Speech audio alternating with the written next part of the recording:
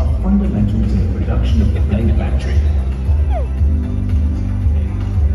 The automation of equipment, the device-to-device implementation, and the intelligentization of control are central to this, underpinning robust and efficient processes for consistent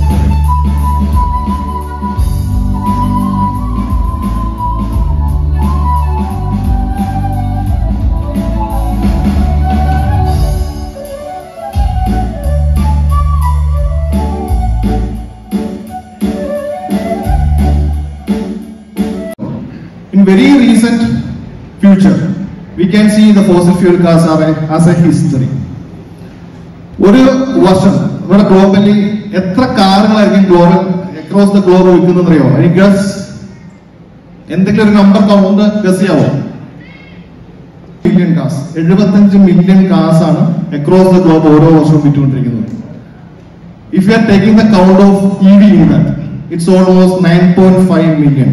ചില ഓരോ എഴുപത്തഞ്ച് million car വിൽക്കുമ്പോഴും പത്ത് മില്യണോളം E V കാറുകളാണ് വിൽക്കുന്നത്. It's almost twelve point six percentage of total car sales in the globe ഞാൻ പറയുന്നത് പ്യുവർ ഇ വിയെ കുറിച്ചാണ് if you are adding those hybrid plugin hybrids it will be thirteen point six million cars ഇതാണ് global scenario പക്ഷെ നമ്മൾ ഇന്ത്യയിലേക്ക് വരുമ്പോൾ നമ്മുടെ ഇന്ത്യ കുറച്ചുകൂടെ പുറകിലാണ് ഇന്ത്യയിൽ ഓൾമോസ്റ്റ് ഒരു വർഷം വിൽക്കുന്നത് നാല് മില്യൺ കാർസ് ആണ്. ഈ നാല് മില്യൺ കാറിൽ ടു പോയിന്റ് ത്രീ പെർസെന്റേജ് മാത്രമാണ് E V sales evening where we have the uh, introduction of the E uh, Max uh, 7, which is the successor of EV6, E6.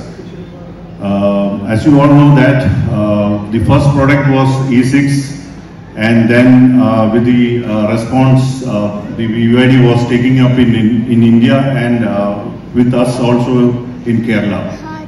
And the E6 was a great product uh, which was well accepted by uh, all of you, uh, most of the customers in Kerala, and some of you uh, are also here. And now, uh, again, uh, this E6 uh, is now getting into a more bigger and a better price with a new introduction, which is which you are all going to see now.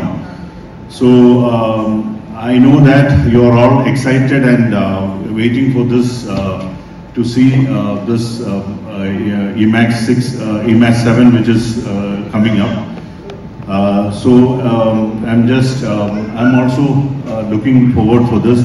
But let me say something about the way EVM has shaped up. If you see the last three years,